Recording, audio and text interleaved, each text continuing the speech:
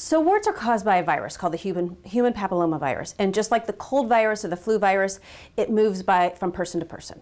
So the more contacts you have with someone who has a wart, the more likely you are to get it. Researchers at Leiden University in the Netherlands studied more than 1,000 kids in grades 1 to 7.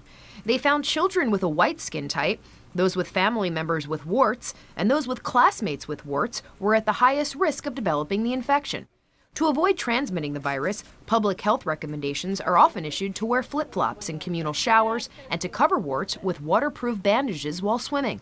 But researchers suggest shifting the focus to limiting HPV transmission in families and school classrooms rather than public places. Dr. Piliang says there are a number of things kids can do to minimize the risk of infecting someone else. I think if a child has a wart on their foot, it's easy to have them wear socks at home or flip flops. Certainly wear flip flops in the shower. So focus on the one with the wart more than the ones who don't have the wart. But she says warts that develop on a child's hand are tougher to keep from spreading. I think it's harder when you think about warts on the hands. It's hard to keep your hands covered, it's hard to keep a band aid on. So if it's a hand wart, maybe it's important to go get it treated. With Everyday Health, I'm Taryn Winter Brill.